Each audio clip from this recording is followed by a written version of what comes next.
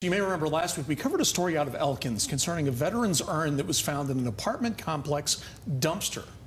After an urn of a veteran was found in an Elkins apartment dumpster by two sanitary workers earlier this month, the race for identification began immediately after. The sanitary workers contacted Post 29 Elkins American Legion for help, who then shared the urn on social media as well as news outlets for greater outreach. Not even a full week after the Legion had received the urn, a phone call came through claiming the urn and providing more information on how it was displaced. You know, we all believe in the man upstairs, and I think this is a way for him to get to What where he's he wanted. Yeah.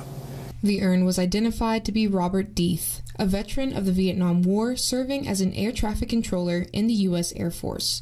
Deeth received the Bronze Service Star, the Republic of Vietnam Gallantry Cross with device, and the Republic of Vietnam Campaign Medal for his services. After a number of passings of Deeth's close relatives, the urn was displaced by workers of the apartment complex, though at no fault of their own.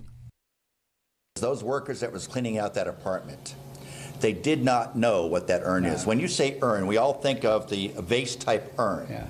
but not everybody can afford that, you know. And so a very simple box, little metal box that's screwed shut, is all that someone can afford.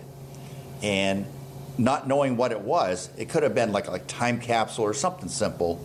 It was just at the time for them garbage in the way. They did not know. So you can't blame those people for it. Deeth's son, who now resides in Florida, stated that his father's final wishes were to be buried in Elkins Little Arlington Cemetery, to which Post 29 intended to do originally if Deeth had not been identified. The Legion has already arranged a service and memorial for Deeth once he's laid to rest, and the two sanitation workers who found Deeth are planning to be in attendance. Reporting from Elkins, I'm Jalen Lamp with 12 News.